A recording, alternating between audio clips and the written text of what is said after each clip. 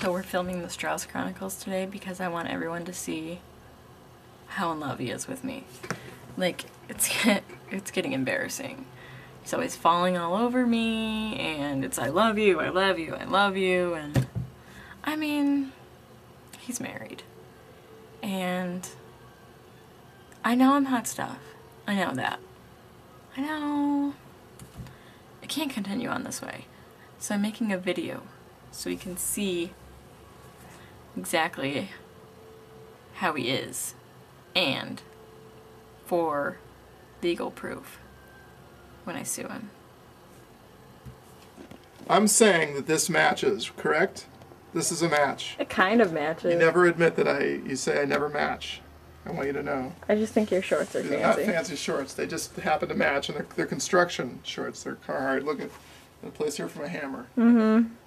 They're very fancy.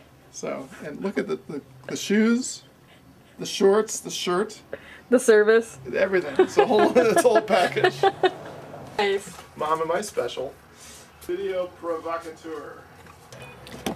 I just want to tell you that, guys, that um, every time I turn this camera off, he comes in here. It's always asking me to fax things, call people. Oh, I forgot to call that one guy. Uh, fax things, call people, but really, what he's really saying is just love me. Just love me. I'm just telling you, she came in the back door.